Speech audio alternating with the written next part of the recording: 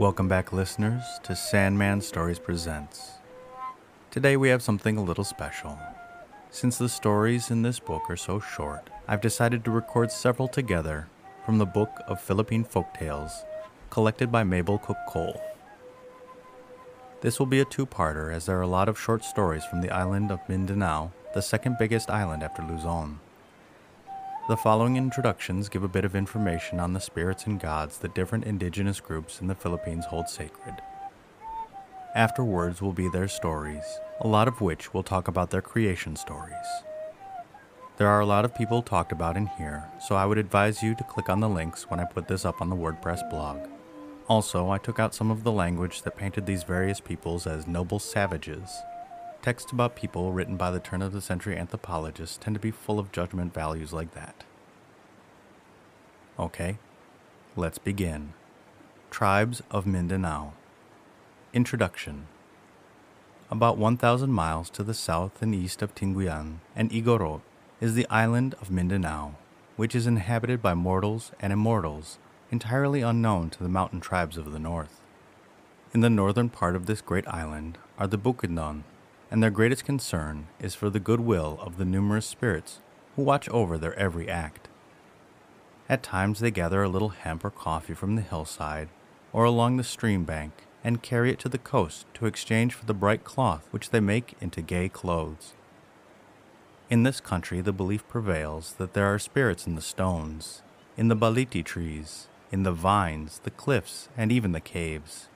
And never does a man start on a journey or make a clearing on the mountainside until he has at first besought these spirits not to be angry with him, but to favor him with prosperity and bring good crops. The greatest of these spirits is Diwata Magbabaya, who is so awe inspiring that his name is never mentioned above a whisper. He lives in the sky in a house made of coins, and there are no windows in this building, for if men should look upon him, they would melt into water. Above the Gulf of Davao, in the southeastern part of this island, are a number of small tribes, each differing somewhat from the other in customs and beliefs. Of these, the most influential are the Bagobo, who dwell on the lower slopes of Mount Apo, the highest peak in the Philippines. They are very industrious, forging excellent knives, casting fine articles in brass, and weaving beautiful hemp cloth, which they make into elaborate garments decorated with beads and shell discs. From a great fissure in the side of Mount Apo, clouds of sulfur fumes are constantly rising, and it is believed to be in this fissure that Mandarangan and his wife Darago live, evil beings who look after the fortunes of the warriors. These spirits are feared, and great care is taken to appease them with offerings. The following tales show something of the beliefs of these and the neighboring tribes in Mindanao.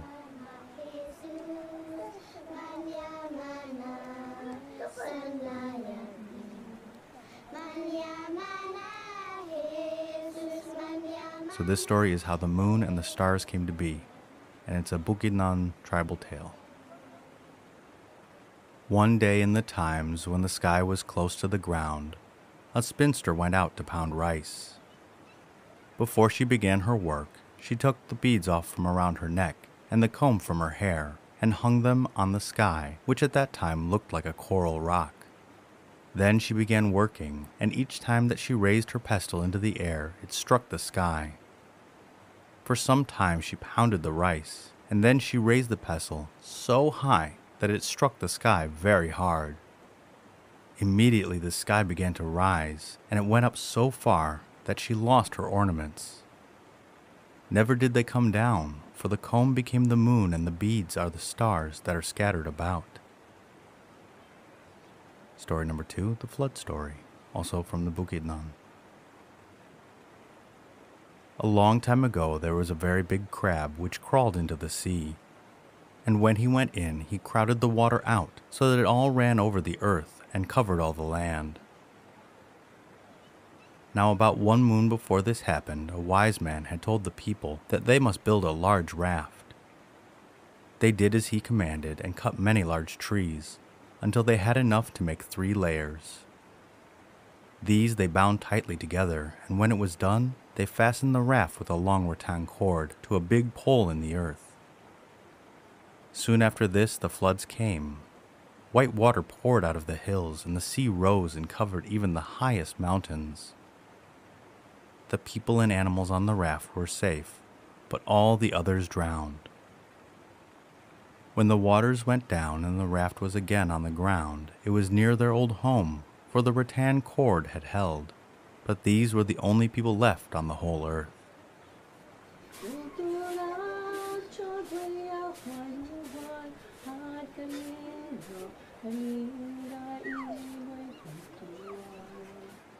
And now for the story of Magbangal. Magbangal was a good hunter, and he often went to a certain hill where he killed wild pigs for food. One night, as it was nearing the planting season, he sat in his house thinking, and after a long time he called to his wife. She came to him and he said, Tomorrow I shall go to the hill and clear the land for our planting, but I wish you to stay here. Oh, let me go with you, begged his wife, for you have no other companion. No, said Magbangal.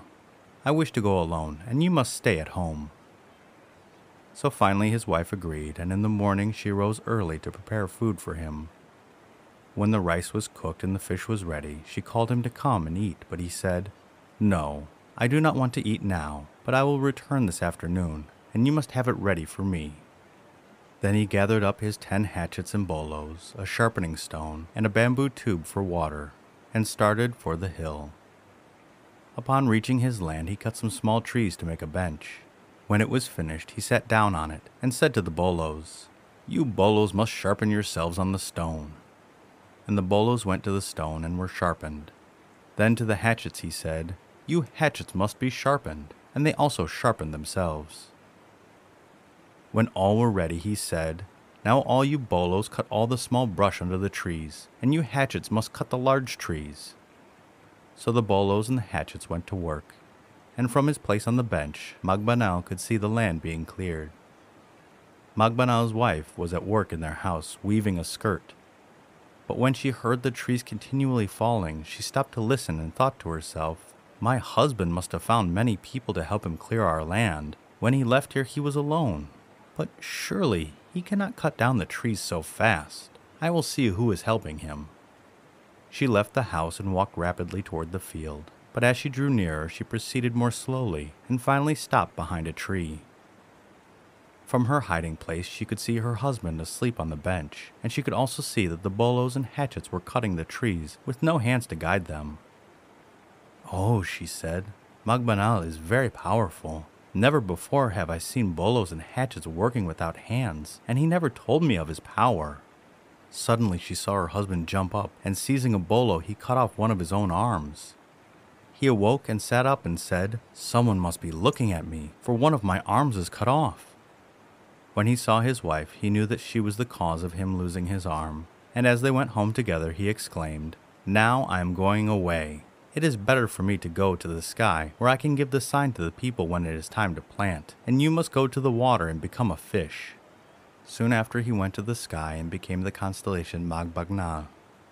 And ever since, when the people see these stars appear in the sky, they know that it is time to plant their rice. And another story how children became monkeys. One day, a mother took her two children with her when she went to color cloth. Not far from her home was a mud hole where the carabao liked to wallow, and to this hole she carried her cloth, some dye pots, and two shell spoons. After she had put the cloth in the mud to let it take up the dark color, she built a fire and put over it a pot containing water and the leaves used for dyeing. Then she sat down to wait for the water to boil while the children played nearby. By and by, when she went to stir the leaves with a shell spoon, some of the water splashed up and burned her hand, so that she jumped and cried out. This amused the children, and their laughter changed them into monkeys, and the spoons became their tails. The nails of the monkeys are still black, because while they were children, they had helped their mother dye the cloth.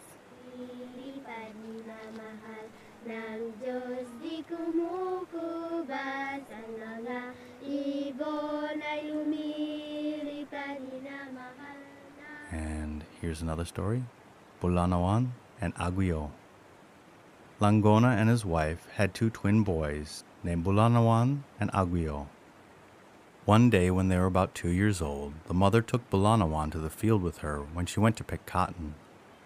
She spread the fiber she had gathered the day before on the ground to dry near the child. And while she was getting more, a great wind suddenly arose, which wound the cotton around the baby and carried him away. Far away to a distant land, the wind took Bulanawan, and in that place he grew up. When he was a man, he became a great warrior. One day, while Bulanawan and his wife were walking along the seashore, they sat down to rest on a large flat rock, and Bulanawan fell asleep. Now Aguio, the twin brother of Bulanawan, had become a great warrior also, and he went on a journey to this distant land, not knowing that his brother was there. It happened that he was walking along the seashore in his war dress on this same day, and when he saw the woman sitting on the large flat rock, he thought her very beautiful, and he determined to steal her. As he drew near, he asked her to give him some of her husband's betel nut to chew, and when she refused, he went forward to fight her husband, not knowing they were brothers. As soon as his wife awakened him, Bulanawan sprang up, seized her, and put her in the cuff of his sleeve, and came forth ready to fight. Aguio grew very angry at this, and they fought until their weapons were broken and the earth trembled. Now the two brothers of the rivals felt the earth tremble, although they were very far away, and each feared that his brother was in trouble. One was in the mountains, and he started at once for the sea. The other was in a far land, but he set out in a boat for the scene of the trouble. They arrived at the same time at the place of the battle, and they immediately joined in it. Then the trembling of the earth increased so much that Langona, the father of Aguio and Bulanawan, sought out the spot and tried to make peace. But he only seemed to make matters worse, and they all began fighting him. So great did the disturbance become that the earth was in danger of falling to pieces. Then it was that the father of Langona came and settled the trouble and when all were at peace again, they discovered that Aguio and Bulanawan were brothers and the grandsons of the peacemaker.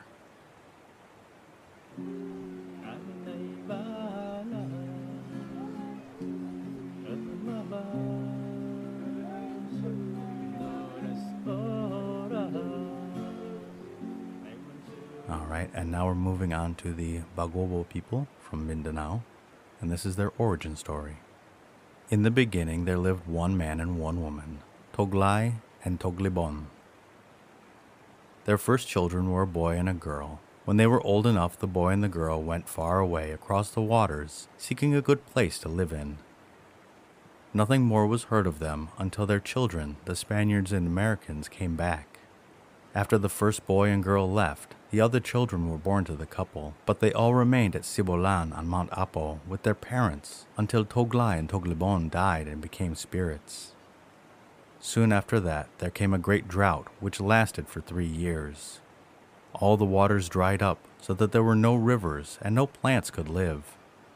Surely, said the people, Manama is punishing us, and we must go elsewhere to find food and a place to dwell in. So they started out. Two went in the direction of the sunset, carrying with them the stones from the Sibolan River. After a long journey, they reached a place where were broad fields of congong grass and an abundance of water, and there they made their home.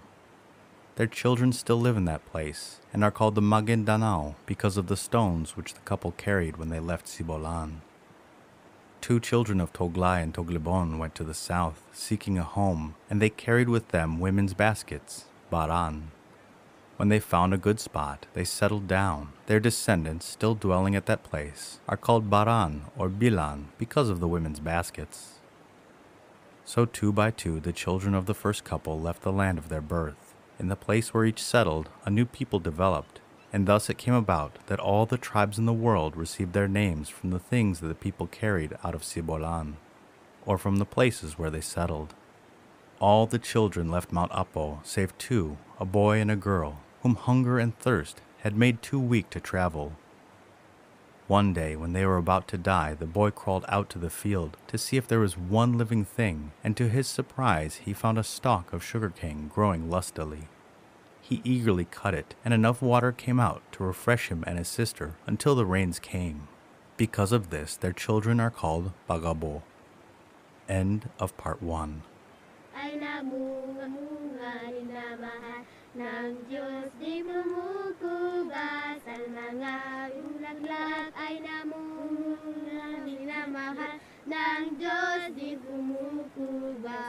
sa I love the children turning into monkeys. The playfulness is very apt for young kids.